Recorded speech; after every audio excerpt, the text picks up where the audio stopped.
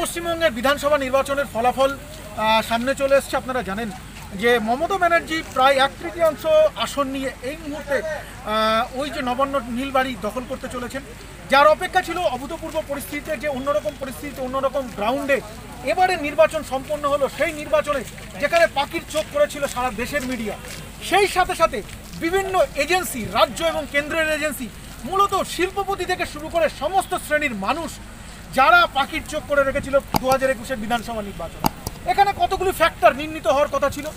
বহিরাগত এবং বাঙালি ইস্যু বাংলা এবং বহিরাগত যে একটা লড়াই চলছিল, যে ঠান্ডা লড়াই চলছিল, সেই ঠান্ডা লড়াইকে সামনে রেখে মানুষ কোন দিকে মতামত দেয়, মানুষের রায় কোন দিকে যায় সেটা দেখার অপেক্ষা ছিল। একদিকে বাংলা নিজের মেয়েকে চাই, অন্যদিকে বলা হচ্ছিল যে ডাবল ইঞ্জিনের সরকার। সেই ডাবল ইঞ্জিনের সরকার না বাংলা নিজের মেয়েকেই চাই, সেই প্রেক্ষাপটে দাঁড়িয়ে মানুষের রায় কোন দিকে যায় তার অপেক্ষায় ছিল সারা বিধানসভার মানুষ, সারা পশ্চিমবঙ্গের মানুষ। দুশো চুরানব্বইটি বিধানসভার মধ্যে, দুশো বিরানব্বইটি বিধানসভার ফলাফল ইতিমধ্যে প্রকাশিত হয়েছে। প্রায় দুশো দশটির বেশি আসন নিয়ে নিরঙ্কুশ সংখ্যা গরিষ্ঠতা নিয়ে তৃণমূল কংগ্রেস পুনরায় তৃতীয়বারের জন্য ক্ষমতায় আসতে চলেছে। এই তৃতীয়বারের জন্য ক্ষমতায় আসার যে ফ্যাক্টরগুলো কাজ করে গেল, তার মধ্যে অন্যতম হচ্ছে সংখ্যালঘু ফ্যাক্টর, যেটা বলা হচ্ছিল সে সাতাশ শতাংশ ভোট, পশ্চিমবঙ্গে সংখ্যালঘু ভোট। সেই ভোটটা তৃণমূলে কনসেন্ট্রেটেড হয়েছে। সেই সাথে সাথে যে হিন্দু ভোটটা রয়েছে যে সত্তর শতাংশ হিন্দু ভোট, তার মধ্যে উনপঞ্চাশ শতাংশ ছিল মহিলা ভোটার। এই যে উনপঞ্চাশ শতাংশ মহিলা ভোটার, তাদের মধ্যে একত্রিশ শতাংশ ছিল আঠেরো থেকে পঁচিশ বছর মহিলা। যারা কেউ কন্যাশ্রী পেয়েছে, কেউ রূপশ্রী পেয়েছে, কেউ বিভিন্ন বিবেকানন্দ স্কলারশিপ থেকে মমতা ব্যানার্জির বিভিন্ন সামাজিক প্রকল্পের সুবিধা পেয়েছিল। সেই সমস্ত মায়েরা, যারা আদিবাসী সম্প্রদায় থেকে বিলং করেন, যারা এসসি কমিউনিটি থেকে বিলং করেন, কেউ এক হাজার টাকা ভাতা পান কেউ হয়তো চিকিৎসার জন্য যাদের সুনিশ্চয়তা দিয়েছে স্বাস্থ্যসাথী প্রকল্পের কার্ড।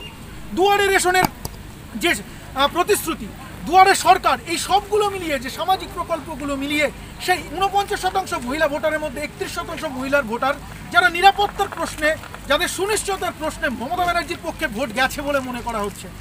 যারা এই তেহট্ট বিধানসভা, পলাশিপাড়া বিধানসভা এবং করিমপুর বিধানসভার জয়ের কাণ্ডারি, যারা সামনে থেকে লড়ে বুক চিতিয়ে লড়ে এই যে তেহট্ট বিধানসভার যেটা খুব অল্প মার্জিনে জয়, সেই জয় ছিনিয়ে নিয়ে আসলো। সেই তেহট্ট বিধানসভার যিনি জয়ের অন্যতম কাণ্ডারি, নারায়ণপুর পঞ্চায়েতের প্রধান মুখ সাইজুল শাহ মিঠু এবং উনি যুব তৃণমূল কংগ্রেসের জেলা সম্পাদকও বটে। ওনার সঙ্গে আমরা একদম প্রাথমিক প্রতিক্রিয়া জেনে নেব, এই জয় কতটা স্বস্তি দেয়? বাংলার আকাশে আপনারা এখন লক্ষ্য করুন, কদিন খুব মানে গরমে রোদের মানে তাপে আমরা টিকতে পারছিলাম না। আজ সকাল দিকে লক্ষ্য করুন যেমন ঠান্ডা। একদম। মিঠুদা যেটা বলছিলেন যে বাংলার যে ভোটের উত্তাপ সেটা আস্তে আস্তে কমে এসেছে একটা স্বস্তি শান্তি আবহাওয়াতেও যেন বিরাজ করছে। তৃণমূল কংগ্রেসের জয় যেন একটা সবারই কাছে স্বস্তির খবর এনে দিয়েছে যেটা দাবি করছে মিঠুদা। মিঠুদা এই যে জয়ের ফলে এই যে জয়টা হলো সেটাকে আপনি কি বলবেন? ধর্মীয় মেরুকরণের বিরুদ্ধে মানুষের রায়? বাংলার মানুষ রায় দিল এবং ভারতবর্ষের মানুষকে দেখাল যে আগামীতে এইভাবে রায়টা দু হাজার চব্বিশের লোকসভা নির্বাচনে এই যে দু হাজার একুশের বিধানসভা নির্বাচন কি কোনো বার্তা দিল? হ্যাঁ বিজেপির প্রথম শুরু।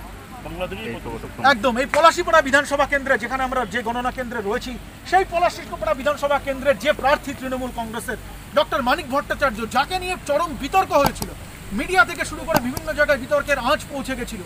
বিভিন্ন জায়গায় যারা চাকরি প্রার্থী রয়েছে প্রাইমারি তারা বিভিন্ন জায়গা থেকে বিক্ষোভ দেখিয়েছিল। সমস্ত বিক্ষোভের অবসান ঘটিয়ে, সমস্ত কুৎসার জবাব দিয়ে, সমস্ত কিছুকে পরাজিত করে, জয় সুনিশ্চিত করে বিধানসভায় যাচ্ছেন ডক্টর মানিক ভট্টাচার্য। আগামী দিনে ডক্টর মানিক ভট্টাচার্যের নেতৃত্বে এলাকার এই পলাশিপাড়ার কত দাবিগুলো, মানুষের জনসাধারণের প্রত্যেক দিনের নিত্য দিনের দাবি, কতটা বিধানসভায় উঠে আসে সেটা দেখার জন্য আমাদের অপেক্ষা করতে হবে। আর ততক্ষণ আপনাদের সবারই চোখ থাকুক, খবরের দরকার। যদি এখনও আমাদের খবরের দর্পণ চ্যানেলটি সাবস্ক্রাইব না করে থাকেন, তাহলে এখনই সাবস্ক্রাইব করুন। সঙ্গে বেল বাটনটি ক্লিক করুন আর পেয়ে যান সব খবরের দ্রুত ভিডিও আপডেট।